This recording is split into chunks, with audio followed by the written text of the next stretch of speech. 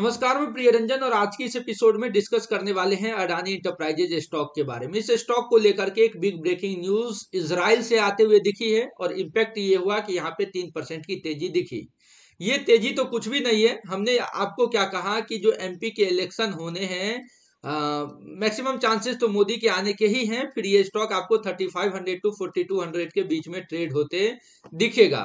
तो इसके technical trend या आगे के लेवल्स को डिस्कस करें, इससे पहले प्रीमियम टेलीग्राम ज्वाइन करें और डिस्क्रिप्शन के लिंक से अकाउंट ओपन कर लेंगे।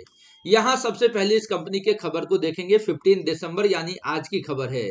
Adani enterprises Israel defence electronic makers Elbit करके इलबिट करके सिस्टम का नाम है। Elbit system has completed the acquisition of seven thousand eight fifty seven equity share और forty four percent stake of the company arm, जो कि Adani defence system and technology subsidiary है, और ये एक बड़ी खबर इस स्टॉक में आते हुए दिखी है।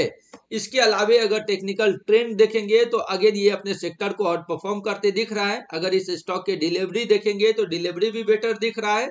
आज के कामकाज में देखेंगे तो बायर सेलर लगभग बराबर ही ढाई लाख के आसपास का दिख रहा है।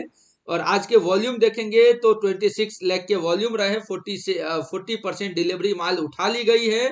और इसके चार्ट को देखेंगे तो जितने भी इसमें रिट्रेसमेंट लेने थे, जितने भी सप्लाई आने थे, आ गए। अब फ्रेश डिमांड यहाँ पे अगेन बिल्ड होते दिख रहा है और एक बार ये 3100 के ऊपर गया।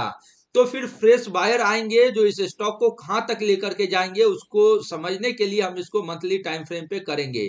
यहाँ देखेंगे तो 3100 के आसपास अगेन इस स्टॉक में आपको फ्रेश बायर आते दिखेगा।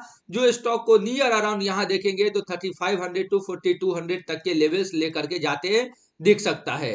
वीकनेस कब तक नहीं आएगी? 2720 के नीचे जब तक स्टॉक क्लोजिंग नहीं देता है, तब तक बिल्कुल इस स्टॉक में हम वीकनेस एक्सपेक्ट नहीं कर सकते हैं। ओवरऑल ट्रेंड स्ट्रांग है और बड़े ट्रेंड अभी भी इस स्टॉक में मिसिंग ही दिख रहा है।